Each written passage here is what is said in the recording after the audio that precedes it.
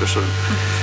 Ja, es geht um die Frage von Grundsicherung von Sanktionen in Hartz IV. Der Paritätische Wohlfahrtsverband unterstützt diese Aktion, die die Linke jetzt gerade auf den Weg bringt, sehr, weil wir inhaltlich deckungsgleich sind.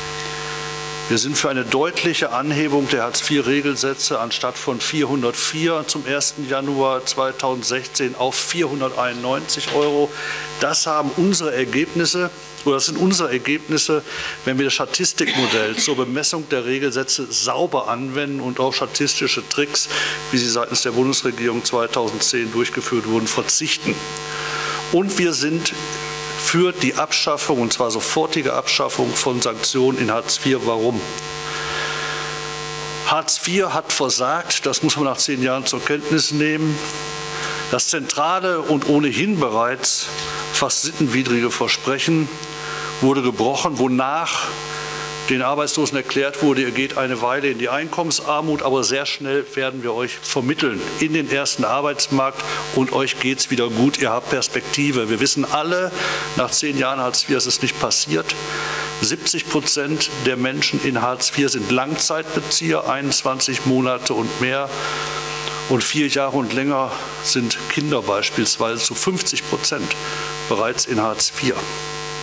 Das gibt zu denken. Hartz IV hat das, was erwartet wurde, nicht eingelöst. Das betrifft insbesondere die Vermittlungsquoten. Wir müssen uns vor Augen halten, wir haben in Deutschland etwas über eine Million Langzeitarbeitslose. Im letzten Jahr waren es genau 1,1 Millionen Langzeitarbeitslose. Von denen haben gerade mal 185.000 den Weg in den ersten Arbeitsmarkt gefunden. Über Vermittlung der Jobcenter waren es gerade mal 23.000. Das heißt, nicht einmal oder knapp über 2 Prozent gerade mal der Langzeitarbeitslosen wurden wirklich vermittelt. Wenn wir uns die Vermittlungsquote in Arbeit anschauen, bei allen Hartz-IV-Beziehern liegt diese noch deutlich darunter, nämlich bei unter 2 Prozent aller Menschen, die 2014 SGB II-Leistungen bezogen, sprich Hartz IV.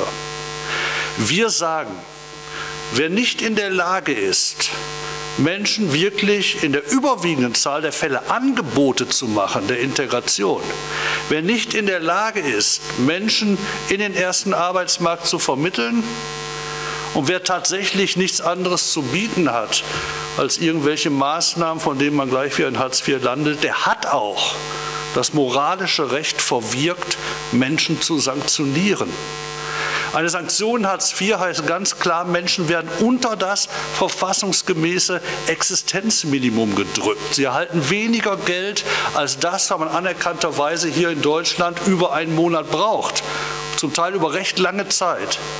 Und wenn bei einer solchen Maßnahme am Ende nicht tatsächlich die realistische Perspektive steht, der Mensch kommt dann auch wieder in Arbeit, dann sind diese Sanktionen überhaupt nicht mehr zu rechtfertigen.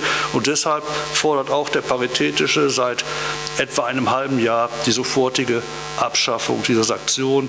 Das ist der Grund, warum wir daran mitwirken, diese Forderung publik zu machen und auch diese wirklich zum Teil ja klägliche Leistung der Bundesagentur, was die Vermittlung von Langzeitarbeitslosen anbelangt, publik zu machen.